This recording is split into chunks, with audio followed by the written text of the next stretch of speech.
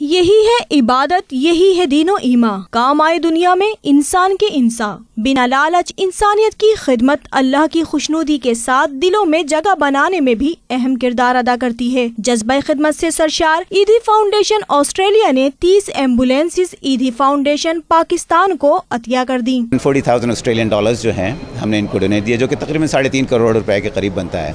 اور یہ سارا چیریٹی کلیکشن ہے اور چیریٹی اس کی یوٹیلائزیشن ہے جو کہ ہم نے کلیکشن کے بعد اس کو ہینڈ اوور کر دیا ہے ایدھی پاکستان کو کہ اس کی چیریٹی یوٹیلائزیشن ہو۔ ایدھی فاؤنڈیشن آسٹریلیا کے بورڈ ممبر حامد خان کا کہنا تھا کہ عبد الستار ایدھی کا خلا تو پر نہیں کیا جا سکتا تاہم ان کا مشن ضرور جاری رکھا جائے گا۔ فلپین میں ایک بہت بڑا جو ہے سائیکلون آیا تھا۔